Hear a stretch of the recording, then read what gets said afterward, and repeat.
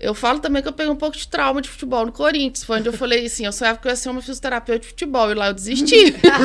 eu larguei mão. Eu falei: não, eu vou trabalhar com outra coisa. Porque lá o futebol é muito levado a sério. Muito. E se ganha é uma bagunça, e se perde também é uma bagunça. Então, assim, é, para entrar no CT é difícil. É, para a gente chegar lá, a torcida é muito severa com os jogadores, entendeu? Muitos jogadores têm que ter segurança. É acima da média. É um mundo que a gente não vê aqui. Lá não tem calmaria. É um bando de loucos, né? Exato. Então, ah, assim, a gente eu. não tem acesso, é, mas que existe muito. É um ambiente. Hoje já existe futebol feminino, até que o, o Boa está desenvolvendo futebol feminino. Uhum. O, a gente estava trabalhando com os meninos do VEC, que são os queridos, né?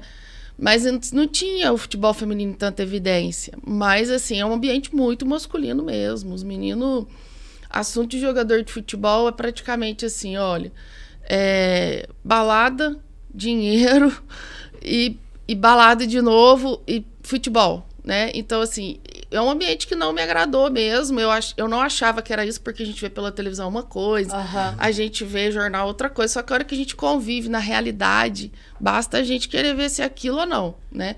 E, de repente, depois aí de um tempo, eu comecei a conviver muito com os meninos do judô, que é um, é um esporte disciplinado. Outros esportes que foram me agradando pelo estilo de trabalho. E falando de hoje, principalmente, viver o mundo do MMA me encantou.